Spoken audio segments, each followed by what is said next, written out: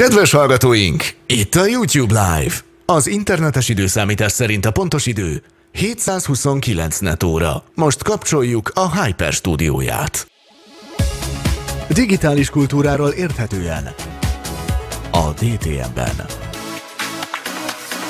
Mikulás előestén jó estét kívánok, december van már, és itt van az Asztal Társaság szép számmal a Hyperzone-ban, az új stúdiónkban. Ugye most már második alkalommal jelentkezünk innen, és akkor én rögtön be is mutatom az Asztal Társaságot, de előtte saját magamat, Szilágyi Árpád vagyok, a műsor szerkesztője. Mellettem ül Fülöp Hajnalka, a digitális iskola, most jól mondom? Modern iskola. Modern iskola, de Igen. digitális ettől még. Modern iskola főszerkesztő. Moderniskola.hu Igen. főszerkesztője. Online portál. És egyben digitális pedagógia szakértő, vagy szakújságíró. Igen.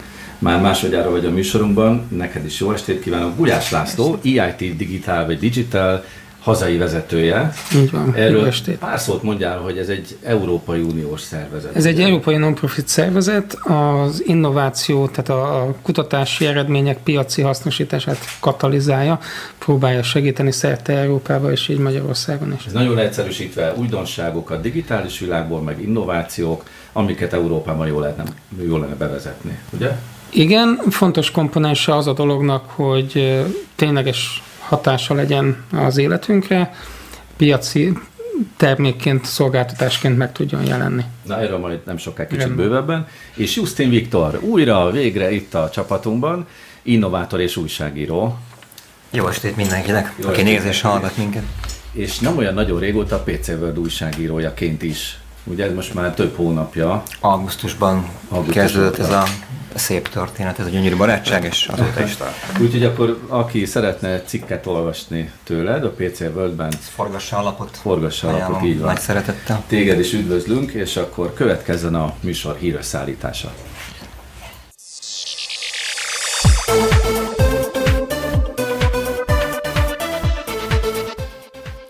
Új üzenetküldő alkalmazást mutatott be 6 és 12 év közötti gyermekek számára a Facebook, aminek segítségével a szülők tudják felügyelni, hogy kivel léphetnek kapcsolatba a gyerekek a neten. A Messenger Kids nevű alkalmazásra azért van szükség, mert a Facebookot csak a 13 évnél idősebbek használhatják, bár ezt a szabályt sokan nem tartották be. A szülők azonban az új csevegő alkalmazással kizárhatják annak lehetőségét, hogy a gyermeküket online zaklatás érje. A gyerekek így csupán az engedélyezett Facebook felhasználóknak küldhetnek üzeneteket, képeket és videókat.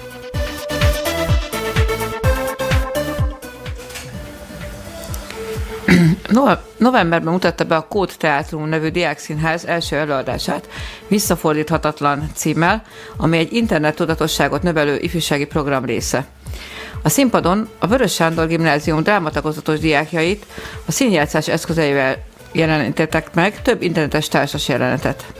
A cél az volt, hogy az osztálytársak az, internet, az osztálytársak internetes bántalmazását mutassák be. A közönség soraiban ülő, gyerek otthonban élő, továbbra itt, itt tanuló külföldi tinédzserek okostelefonos szavazással nyilvánítottak véleményt a színdarab kérdéseiről. A fiatalokat pszichológiai és hálózati biztonsági szakemberek segítették a válaszok megtalálásában.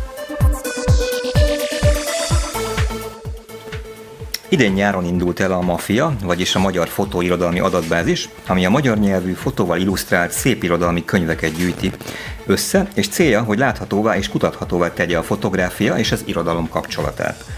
A válogatás a Szegedi Tudományegyetem Klebelsberg Kónó könyvtárának, illetve a Petőfi Irodalmi Múzeum könyvtárának több tízezer illusztrált könyvének válogatásával jön létre.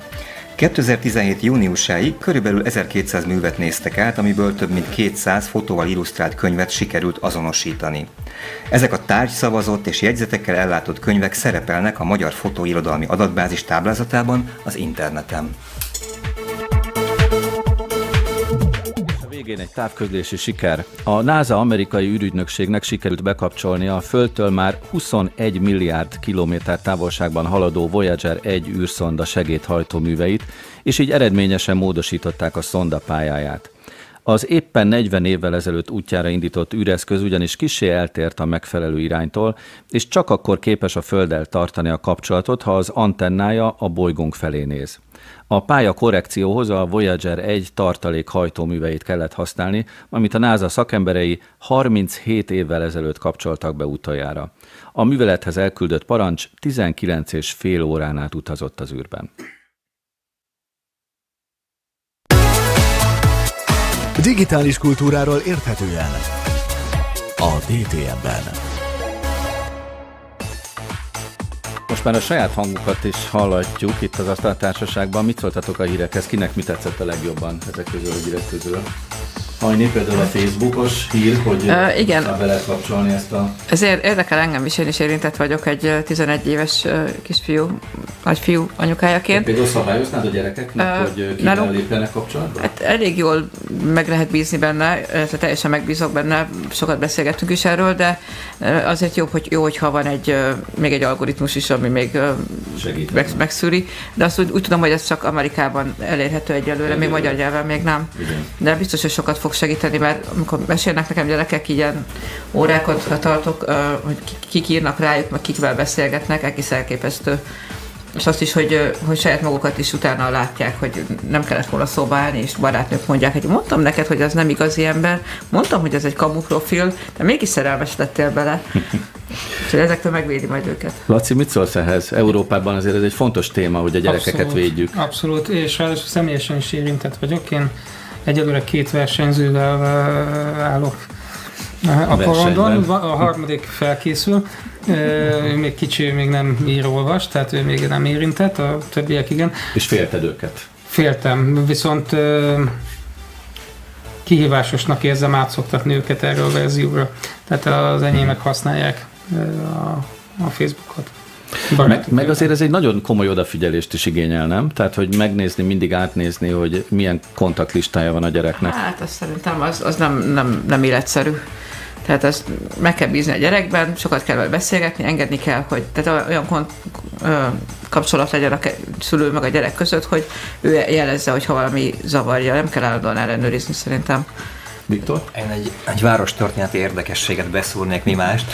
Um, 1990-ben kezdtem a pályámat a Szerb utcában, és ott volt egy, sokáig ott volt egy, ha tiltással nevelsz, hazudni tanítasz, graffiti a falon a Szerb utcában. És ezzel mélyen egyetértek azóta is, ami, ami úgy futatnék ki le, hogy... Tehát hogy ez nem értesz egyet a Facebookkal? Az algoritmikus tiltás, szabályzás, ez lehet egy eszköz, meg szerintem valahol biztos erre is szükség van, de sokkal szimpatikusabb ez a drámatagozatos megközelítés, ez a fajta szerepjátékos dolog, ahol meg felvértezed a gyereket, tehát megtanítod őt arra, hogy mit csináljon. Nem, nem állhatsz ott, nem tudod fogni a kezét, az algoritmus se fog ott állni, szólok. Úgyhogy muszáj, hogy ő legyen. Ez az a hír, a hír, amit Hajni mondott az előbb, a dráma tagozatos gyerekeknek az előadása. Egyébként lesz erről is egy videófelvételünk, amit a Facebook oldalon fogunk tenni. Már talán elérhető, ugye a YouTube-on? Uh, igen, már fönt vannak a kód teátrum kulcs, szóval lehet megtalálni őket, és ők várják a meghívást, és bármelyik iskolában meg lehet kérni őket, hogy ezt a rövid kis előadást adják elő. Nagyon-nagyon uh, ütős uh, darab, az ember utána meg se tud szólalni. Tehát, tehát ilyen internetes zaklatás, a sztori, és akkor oda mennek a suliba, és ezt előadják az igen, ottani igen, gyerekeknek. Igen, egy körülbelül egy olyan 10-15 fiatal, most így nem tudom pontosan mennyien vannak, uh, és, és egyáltalán az is érdekes, hogy az internetet eljátszani. Eljátszák az interneten a különböző szolgáltatásokat, különböző hangokat, különböző effekteket, amiket, amik ér minket, amikor scrollozzuk a, a képernyőt, meg megböngészünk, és utána eljátszanak egy jelentet, egy időben visszafele játszák, ráadásul ez is egy nagyon érdekes maga a történetet minden, mindenki más, mint aki... indul el a történet? E, igen, igen, igen. Senki sem az, aminek látszik, és semmi sem az, aminek látszik, és ugyanakkor minden nagyon is valós, és minden nagyon is virtuális, szóval nagyon jól kitalált uh, darab. Na még egy szó erejéig térjünk vissza a mafiához, a Magyar Fotóirodalmi Adatbázishoz. Egye fel, tehát ne, is, ne, ne úgy mondjuk, mint az olaszok a mafiát. Igen, igen, a mafia, a mafia, tehát mint a mézgáik macskája. szóval a Magyar Fotóirodalmi Adatbázis hol lehet megtalálni? Hát ennek nagyon bonyolult ugye Google Sheets-es, vagyis a Google Excel-je, táblázatkezelője címe van, úgyhogy ezt közé tesszük a DTM-nek a Facebook oldalán, ott lehet megtalálni, illetve ha valaki beírja a Google keresőbe, hogy magyar fotóirodalmi adatbázis, akkor megtalálja. DTM A digitális világ érdekes. Egy friss eseménnyel folytatjuk a műsort. Tegnap délután zajlott itt Budapesten az EIT Digital, az a szervezet, amiről az előbb már hallottunk Gulyás Lászlótól, egy Európai Uniós szakmai szervezet által megrendezett Innovation Day, tehát az innovációk napja. Jól fordítom, Laci, ezt a igen, rendezvényt? Igen, ugye az EIT Digitalnak az a célja, az a módszere, hogy az innovációval kapcsolatos három alaptevékenységet segítsen integrálni, és egyszerre, vagy egymással interakcióba hozni. Itt az oktatással, tehát a fiatal tehetségek nevelése, gondolok, a másik oldalon a kutatásra, a kutatási eredmények létrehozására, új technológiák megteremtésére, prototípusok megteremtésére, és a harmadik ág maga az ipar vagy az üzlet, tehát akkor ideális a dolog, hogy ez a három egy szoros interakcióban van.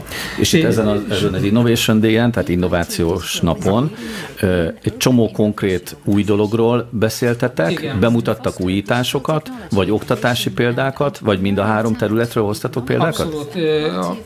Az Innovation Day, ez a Budapest, az Innovation Day az minden kilenc országban egyszer megtörténik egy évben, abban a kilenc országban, ahol az, ahol az EIT Digital jelen van. A tegnap tegnapi esemény az a budapesti csomópont tevékenységét foglalta össze az elmúlt egy éves tevékenységünket, és úgy építettük fel a programot, hogy az ipari partnereink szerephez jutottak, a hallgatóink bemutatkoztak, a legjobb négy hallgató a mesterképzésünkről és a doktori képzésünkről, illetve a legjobb scale-up friss cég, amely, amelyik magyar kötődéssel a rendszerünkben van, és akkor a kiállításon pedig a friss innovációs projektek, kutatási eredmények mutatkoztak be. Mi hallgatóinknak, nézőinknek hadd mondjam el, hogy Gulyás László ennek az EIT Digital budapesti központjának a vezetője. Igen. Tavaly óta, ugye? Vagy mióta? Idén nyár óta. Idén nyár óta. De mióta van jelen Magyarországon az a szervezet? Különböző státuszban az EIT Digital megalakulása óta konkrét irodával, amit mi Co-Location Centernek hívunk szépen magyarul, ugye ez az együttes elhelyezésre utal, arról szól, hogy ezek a különböző szereplők, diákok, ipari partnerek, startupok, innovátorok, kutatók egy helyen, egy légtérben tudjanak dolgozni, és hát különböző interakciókba kerülni a kávé gép mellett, vagy bárhol. Ez a CLCS 12-ben, 2012-ben nyílt meg, és tavaly évvégén értük el azt a fontos előrelépést, hogy teljes jogú tagok lettünk, mint Magyarország, és ezért idéntől vagyunk teljes jogú csomópontként jelen. Csomópont. Kilenc országot említettél, pedig ugye 27 Európai Uniós tagország van, akkor az azt jelenti, hogy mi egy szűk körbe kerültünk. Így van, én azt gondolom, hogy ez azt jelenti, hogy Európa digitális technológiák területén vett elitjébe belekerültünk. Ez nagy dolog akkor. Igen kiválasztás volt? Tehát volt valami fajta zsűrizés az országoknak, hogy hol lehet ilyen csomópont? Ez úgy működik, hogy van egy EIT nevű szervezet, ez az Európai Unió egyik intézménye, ez az egyetlen Európai Uniós intézmény, ami Magyarországon van. Ez különböző tématerületeken úgynevezett tudásközösségekkel lép kapcsolatba. Ez egy elég furán hangzó dolog, de arra kell gondolni, hogy mi a digitális technológiák terén dolgozunk, van az EIT Health, az az egészségügyel kapcsolatos témákban, az InnoEnergy, az az, innováció, tehát az újszerű energiaforrások kapcsán, stb. És ezeket, tehát az EIT kiválasztotta ezeket a szervezeteket, ezeket a, egy pályázat alapján, és ezen belül ezek a szervezetek a saját felépítésüket önmaguk határozzák meg, és itt ezen a szervezeten belül elé, a munkánkkal és a tevékenységünkkel értük el azt, hogy Magyarországot az EIT Digital teljes jogú taggá választotta. Mondjál nekünk egy-két jó példát a tegnapi napból, ami a te számodra is személyesen akár ö, olyan példa, ami szerinted lelkesítő, olyan dolog, amiben látszik a jövő, ami, ami klassz. Jó, én két dolgot emelnék ki, ami számomra nagyon mm, kellemes szívet melengető volt. Az egyik a hallgatóink előadása, több hallgatótól hallottuk azt, hogy hogy elkezdte az informatikai tanulmányát, részt vett ebbe a programban a mi iskolánkban, ami arról attól különleges, hogy a magas szintű informatikai képzés mellett üzleti ismereteket is tanulnak, és miután ezt megtanultak, úgy döntött, hogy saját céget alapít, és az utolsó hallgatónk, aki már egy évvel ezelőtt végzett doktori iskolában, arról számolt be, hogy épp a forrást vonja be az újonnan alakult cégébe, tehát nem csak, hogy a, az innovációt, a kutatási eredményt meg tudta teremteni, hanem piacra is tudja vinni. Félig meddig sikertörténet. Én azt gondolom, nem szeretném elkiabálni a nevében sem. A másik az pedig egy valós sikertörténet, ott egy magyar cégről van szó, egy fiatal cégről, amelyik egy német kutatási eredmény kapcsán alakult, és aztán különböző befektetési és accelerátorkörökön, körök múlva most már a, az EIT Digital accelerátorában vesz részt, és hát lényegében egy európai sikertörténet. Ha mi közönségünkből valakinek az érdeklődését fölkelti ez a szervezet, és van olyan szándéka, vagy akár már most van innovációja, akkor miképpen csatlakozhat hozzátok, vagy hogyan jelentkezhet? Mi az az előny, amit elérhet az EIT Digital-lel kapcsolatban, vagy Jó, a ti segítségetekkel? Azt gondolom, hogy a legfontosabb előny, amit mi nyújtani tudunk, az az, hogy ebben, ebben az európai partnerhálózatban, amit az EIT Digital jelent a maga 150 partnerével, az IT vállalatok, a telefonos, tehát telekommunikációs vállalatok, illetve a rangos kutatóintézetek, egyetemek közössége, tehát ebbe a hálózatba bekapcsolódhat rajtunk keresztül, és rengeteg programunk van, oktatási, innovációs programunk, startup programunk, ezt nem tudnám most itt rövid idő alatt felsorolni, ehhez hozzáférést lehet nyerni rajtunk keresztül, és a legegyszerűbb szerintem, hogyha befáradt hozzánk, vagy kapcsolatba lép velem, és akkor meg tudjuk beszélni a részleteket. Vagy pedig a weboldalon, ugye? Weboldalon is persze. Mert az most már a, az elterjedt eszköz, amin keresztül, hogyha valaki érdeklődni szeretne részletek iránt, Abszolút. akkor megkereseti. Beüti a Google-ba, hogy EIT Digital? Így van, az egy jó közelítés. Egyébként www.eitdigital.eu, de a Google az segít. És akkor ilyen Innovation Day pedig legközelebb egy év múlva? Így vagy? Van. Akkor várjuk majd a részleteket. Köszönöm szépen. Köszönöm.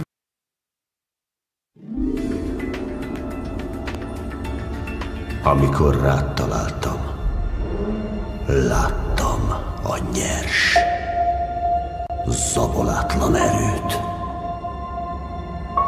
Azon túl pedig valami igazán rendkívülit.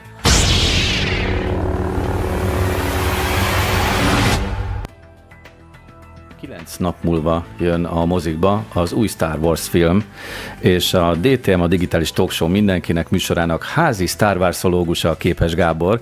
Itt van velünk már a stúdióban. Köszöntöm a kedves hallgatókat és nézőket. Nagyon örülünk, hogy itt vagy, és nem csak te vagy itt, hanem itt vannak kis barátaid is az asztalon. Hát hogy ne, én valami rendkívülére számítok, és extázisban várom a, az első vetítést. Egyébként a filmarchiv.hu szerkesztőjének, Lővenzon Enikőnek köszönhetően sajtó jegyen van, tehát premier előtt fogom látni, hát elképesztő. Ezek a kis játékok pedig még a gyerekkoromból való úgynevezett vintage Star Wars figurák, mert hát nálam ez a rajongás, ez 84-ben kezdődött a Kenese Jónvédüdülőben. Közös jellemzőjük a bábuknak, hogy mindegyik robot. Igen. Egyik sem Darth Vader, egyik sem Luke Skywalker. Egyébként vagy... ők hosszan hatniztak, a Nagy Informatika történeti kiállításában volt a Mi és a Robot című kiállítás, és ott mutattam be őket, mert én különleges jelentőséget tulajdonítok a Star Wars-nak a robotika elterjesztésében, mert azt gondolom, hogy a captionálásról nagyon értett a George Lucas, és nagyon ért a Disney is egyébként. Arra gondoltunk, hogy mi most itt arról beszélgetünk a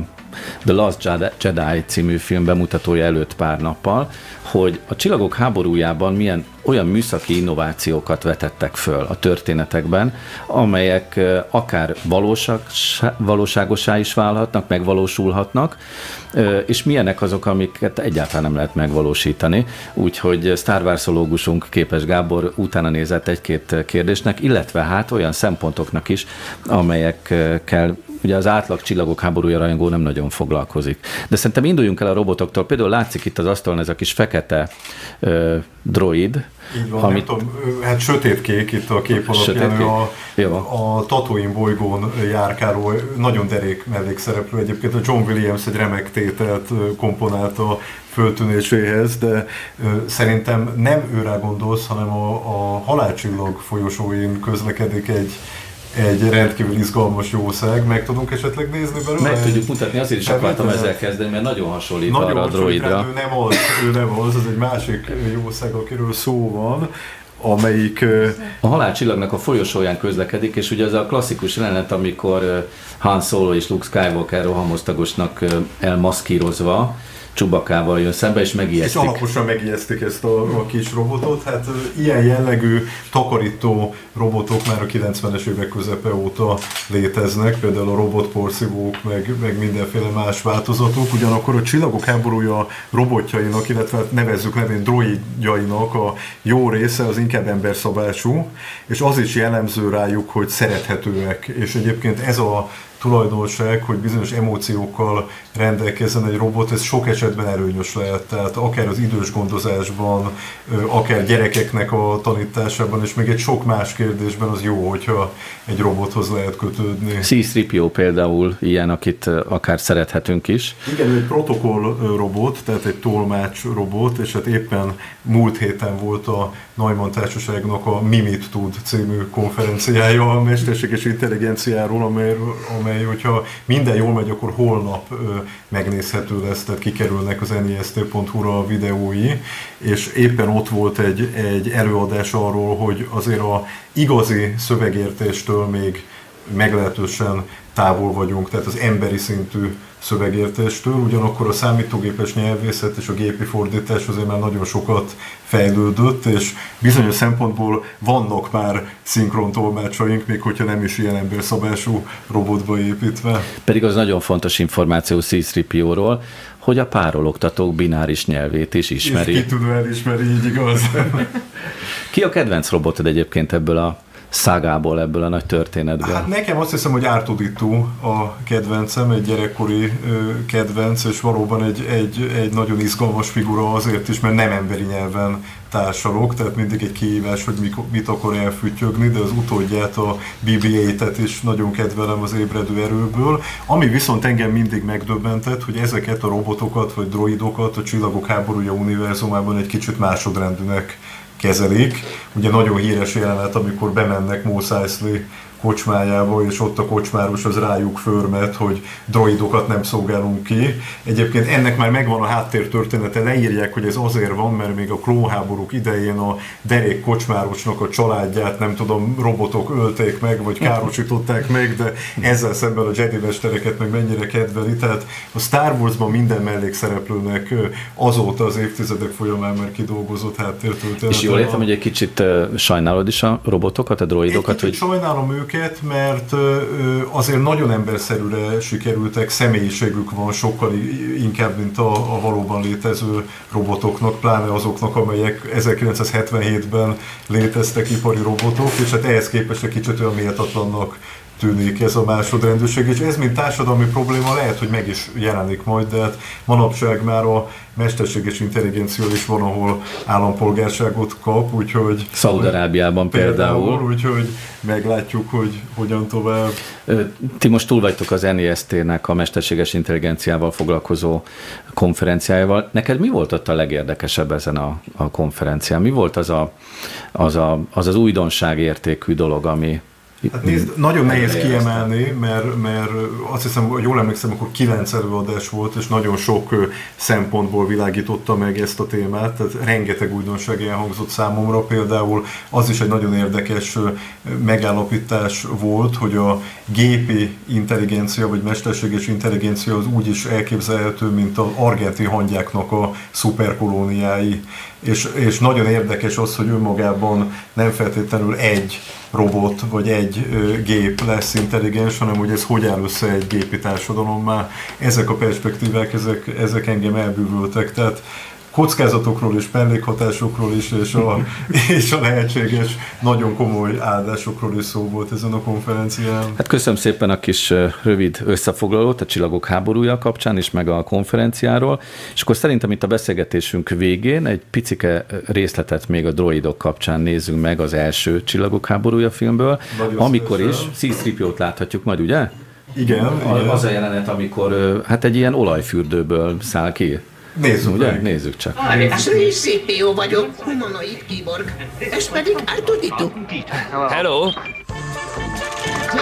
Ez egy összefoglaló egyébként egy dokumentumfilmből, amelyik azt mutatta be, hogy 2007-ben készült dokumentumfilm, hogy hogyan hat a csillagok háborúja a valódi tudományra, illetve és fordítva, hogy így fogalmazzunk, ebből láthatunk néhány jelenetet. Hát ez az olajfürdő, ez még erősen a, a, a bádugember korszakra utal, és arra, hogy ezek sokkal inkább gépek, mint elektronikus eszközök a 1977-es elképzelések szerint. Aki szeretné megnézni ezt a dokumentumfilmet, a YouTube-on megtalálja egyébként teljes egészében. Mi ezt megtettük, mármint, hogy megnéztük ezt a filmet. Érdemes, mert egy sor olyan technikai ötlet kerül elő, amivel kapcsolatban szakértők, tehát tudósok, mérnökök, orvosok nyilatkoznak, hogy valóban megvalósítható-e az az újítás. Például a, az orvosi droid, ugye erről is Ez szó volt. sebész robotok már több százon üzemelnek a világon, Magyarországon csak egy egyébként. És akkor a Star Wars The Last Jedi kilenc nap múlva a mozikban. Köszönöm szépen. Digitális kultúráról érthetően a DTM-ben.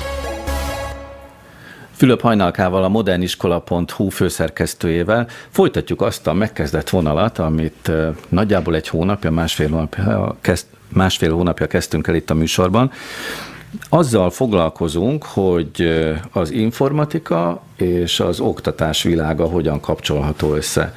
És ugye itt a műsorban foglalkoztunk a Csillagok háborúja robotjaival. Ilyen robotot még az iskolában nem lehet építeni, de egyszerűbbet már igen. Láttál ilyet személyesen is, ilyen robotokat? Uh, igen, uh, ilyen uh, gyerekek uh, által elő szeretettel látogatott rendezvényeken, a Play, Play 18, vagy a My, a My Son is jelen voltak.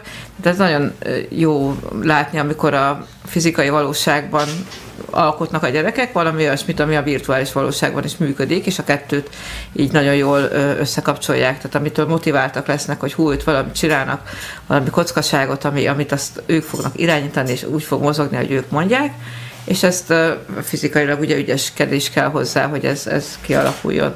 Meg egyest is kell működniük, meg jól, jól kell tudni tervezni, előre gondolkodni, tehát nagyon sok mindent fejleszt egy ilyen robotos játék. Van nekünk felvételünk is, úgyhogy rögtön mutatjuk is, hogy például egy kisfiú egy targoncát épített, de ők, ők hol, hol dolgoznak ezek a gyerekek, vagy hol tanulnak?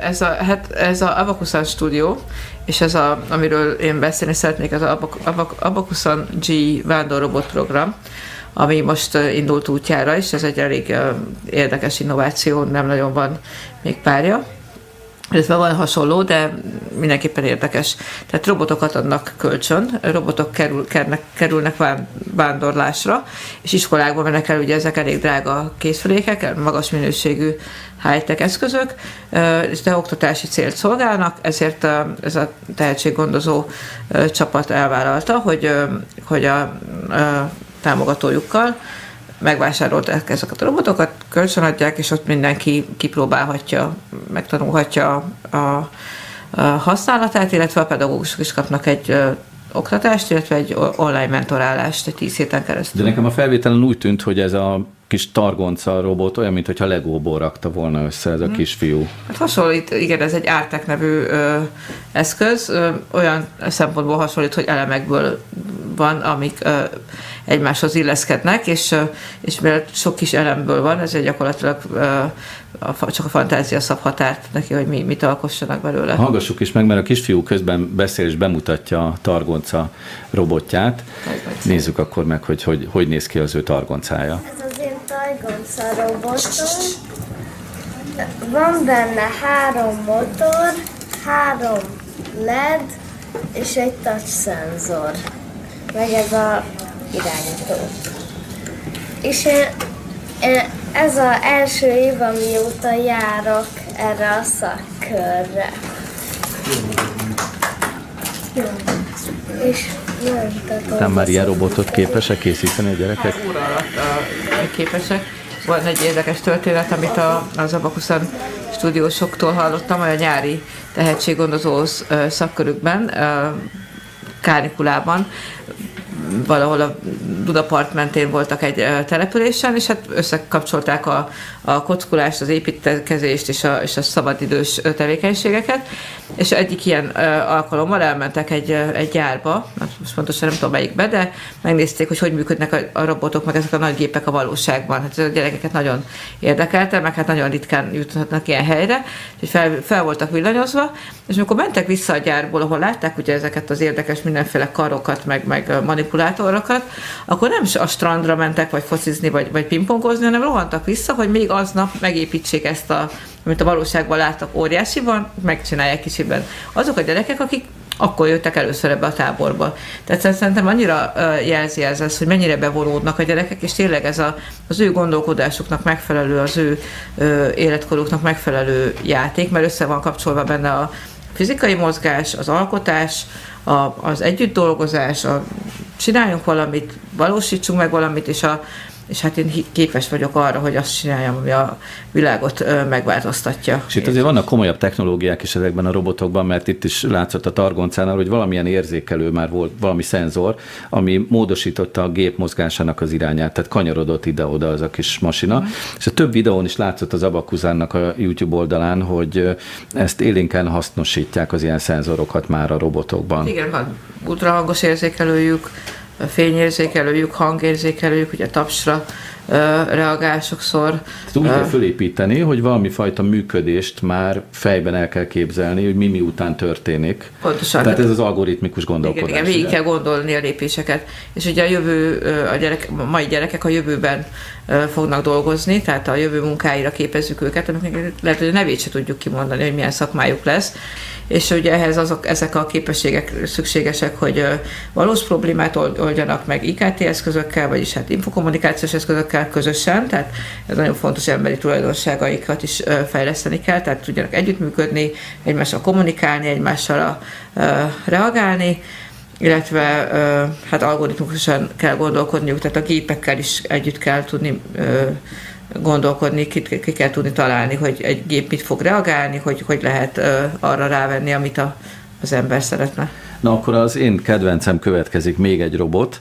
A fiatal ember az itt a piros, hol a piros játékot valósította meg egy robottal.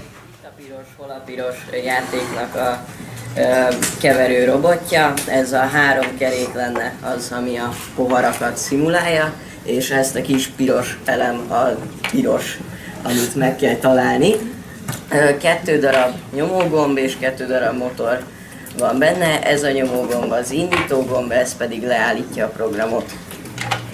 Meg is mutatom.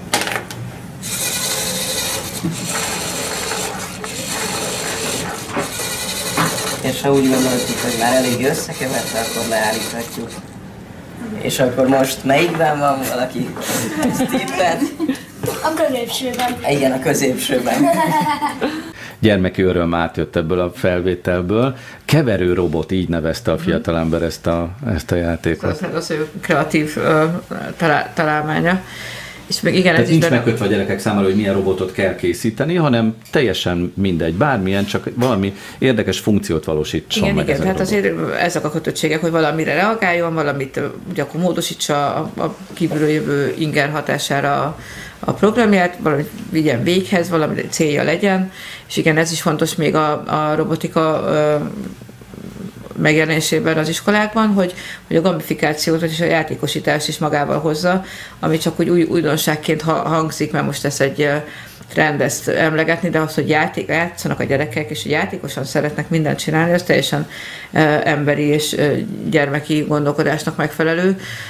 És tehát az a lényeg, hogy szabadon, mindig jutalmazva, mindig egy szinten följebb lépve, közösen kihívásokat teljesítve, tehát ez mindig is, ez, ez, ez mindig is nagy hajtóerő volt, szerintem nem csak gyerekeknél, hanem felnőtteknél is. Szerinted elképzelhető, hogy néhány év múlva lesz olyan tantárgy is az általános iskolában, hogy robotika? Hát remélem, hogy lesz, igen. Biztos vagyok benne, igen. Hát a szakközépiskolákban vagy szakgimnáziumokban, tehát a, a, a szakmák képzésében mindenképpen fontos lesz, hogy minél hamarabb megismerjék a gyerekek, gyerekek de ugye minél fiatalabb korban találkozik vele, annál jobban be, tudja, be tud donódni. Persze ennek vannak azért határai, ez már pedagógiai kompetencia kell, hogy hány éves gyereknek milyen, élet, milyen életkori jellegzetességei vannak. Szerintem erre is egyre több jó gyakorlat születik. Köszönöm szépen, Én is köszönöm a lehetőséget. Digitális kultúráról érthetően a DTM-ben.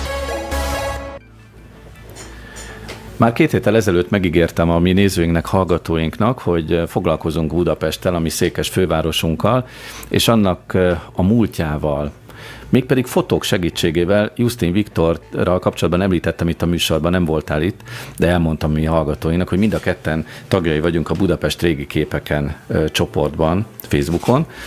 Te is, Laci? Igen. Na, akkor már. Hajni te nem? Nem, amit mondtad, azóta én is követem, igen. Na, hát akkor mindenki. Látod? Vaj, valljunk szint. Ki nincs rajta a csoportban. Szóval terjed, terjed a dolog, és nagyon szép képeket lehet találni, amiből majd mindjárt mutatunk kis példákat. Te miért, miért foglalkozol a, ezzel a témával, hogy, hogy milyen épületek tűntek el Budapestről? Hát ez egy jó kérdés. Talán primár módon azért, mert abban a szerencsés helyzetben vagyok, hogy él a nagypapám, aki 98 éves idén, és élt ebben a, ezekben a kulisszákban. Gyakran érzem így egyébként, hogy egy olyan kulisszában élünk, egy olyan díszletben élünk, amelyik nép már nincs itt. Tehát ők már elköltöztek. Például idevágó érdekességként én kifaggattam a, a nagypapámat arról, hogy a, az a fajta ilyen iparos minőségkultúra, ami egyértelműen eltűnt, ugye 45-ös időszak beköszöntével, ez hogyan érintette őt, hogyan, hogyan? Mert hogy ő egyébként um, vegyésznek tanult, aztán festékbolt vezető lett, és gyakorlatilag ugye, először inasként, aztán mesterként végigjárta ezt a régi típusú kép, képzést, képzési formákat, és hogy hogyan érintette, milyen, milyen érzés volt egy egy nagyon szolid, nagyon biztonsággal a minőségre épülő kultúrából átkerülni egy, egy fajta ilyen silányabb világba. A ami, ami érzés engem meg? gyakran eltölt. Ezek a képek ezt a világot Hát gyakorlatilag meg? ugye ezek az épületek, azt nem, nem tudom mennyire tudjátok, de a, a, még a monarchia építészete Európában a, leg, a legszigorúbb építészeti standardok alapján épült, ezért is van az, hogy nálunk rendkívül kevés a földrengés kár például Budapesten, holott egyébként voltak rendesen földrengések, ez sem annyira köztudott, de úgy olyan szilárdan és olyan, olyan stabilan van megépítve szinte minden, hogy eh, nem tesz benne kárt, és hát az idő sem tesz nagyon benne kárt, tehát több száz éves házakban lakunk Pest, Pesten, aki Pesten él. Na innen indítottunk egyébként két hete is, hogy mi most, most már két hete ebből a stúdióban jelentkezünk, ami a József körúton található, és ezt ugye 140 évvel ezelőtt építették, a nagykörútat. Különböző szakaszait más-más időszakokban, de nagyjából 140 évvel ezelőtt. És meg is mutattuk ezt a kis képes összeállítást, amit most újra meg fogunk tekinteni, hogy mik azok az épületek, amik itt voltak a fővárosunkban, de ma már nem léteznek. Gyönyörű épületek ezek. Igen, itt az elevátorházat látjuk, ugye. Ez egy nagy raktárház volt ott a közraktároknál. Így van. Ugye a Dunából emelte ki a terményeket. Napi Nagy 65 gép. tonna terményt, vagy óránként 65 tonna terményt. Óránként. óránként rakó. Nem is tudom, van-e ekkora rakodó kapacitás ma Budapesten. Most tartunk a Tabánnál, Tabánnak az épületei. Hát aztán ugye a Tabán, amit sokan gondolnak, hogy a háborúban pusztult el, de ez nem így van, hanem, hanem ezt még a Morti korszakban bontották le. Elképesztő falansztereket akartak a helyére. Én de voltam abban a szerencsés hogy láttam a, a, terveket. a, a terveket. Egyébként egy Budapest nevű folyóiratba hozták le, nem sokkal a háború után azokat a terveket, amiket oda terveztek, és fel, felelhető az interneten. Talán egyszer itt is elmesélem, hogy hol, de viccen kívül valaki rákeres, hogy Budapest helytörténeti folyóirat, megtalálja, és benne vannak. Szóval ez a téma is neked a internetes adatbázisok sorozatodba illeszkedik, Igen. mert képekből is létrehoznak adatbázisokat, gyűjteményeket, és így akadtál a dagerotípiákra is. Hát egy, egyfelől ajánlanám a player.hu-n ezt az összeállítást, amiből a képeket láttuk, ezt majd közzé tesszük a, gondolom a, a Facebook oldalunkon, és hát hogy aztán ugye ott van a, a dagerotípiák weboldal, az, egy, az már egy angol nyelvű összeállítás. Látjuk A- is közben a dagerotípiák. Ezek Igen. nagyon régi fotók. Itt például Boston látjuk, aztán egy ismeretlen hölgyet 1850 50-es évekből a kapitóliumot. Ezek ezüst lemezre készült fényképek, elképesztő. A fényképezés hajnala gyakorlatilag. Ugye 27-ben találta fel Döger, Louis Döger a, a dagerotípiát, és e, Akkor 190 éves. és itt van a legelső dagerotípia, ezen látható a legelső lefényképezett ember. Ez 1837, 38, 39, vala- valahol a három év közül. Párizs egyébként is a, a Templom Sugárút nevű uh, Temple Boulevard nevű hely. Egy cipőpucolót és az illetőt, akinek pucolják a cipőjét, azt lehet rajta látni. Aki pedig szeretne utána olvasni, bátran keressen rá. Wikipedia oldalakon is lehet a dagerotípiákról. Ja, még egy, egy, még egy gyors érdekesség, hogy egy nagyon ismert dagerotípia, 44-ből Petőfi dagerotípia, ez egyetlen létező kép a költőről. Igen, hogyha jól emlékszem, az egy kicsit rosszabb minőségű, vagy rosszabb állapotban van már az a kép, tehát nehéz kivenni Igen, a, bár nagyon szépen arcát. helyre hozták, tehát Igen? volt neki restaurálása, és ennek a képnek, és fantasztikus, tehát Petőfit látni, ez fantasztikus. Tudod már, hogy mi lesz a következő internetes adatbázis, amivel foglalkozol? E, igen, igen, igen. Van egy, van egy távoli ismerősöm, akivel csak néha váltunk néhány szót. Ő engem nagyon kapacitál, hogy a mandát mutassam már be végre, úgy ezt meg fogom tenni. A mandára ki fogok térni, és hát majd hozok meglepetést. Köszönöm szépen, eddig tartott ma a műsorunk, gyorsan elszállt az idő, és legközelebb újra kettő hét múlva jelentkezünk, innen a Hyperzone stúdió, új stúdiójából, a József körútról. Rövidesen majd remélhetőleg nyilvánossá is tesszük a műsoroknak, a, tehát az élőadásainkat, és be lehet jönni, meg lehet majd nézni a műsort. Addig is lehet jönni majd játszani, mert játékterem van, autószimulátorok, repülőgépszimulátorok, és minden más, még VR játékokat is ki lehet próbálni itt a Hyperzone-ban. Eddig tartott tehát a műsor, Fülöp Hajnalkának, Gulyás Lászlónak, Justin Viktornak, valamint Képes Gábornak köszönöm szépen a közeműködést a mai műsorban, tehát akkor két hét múlva jelentkezünk, viszont hallásra, viszont látásra.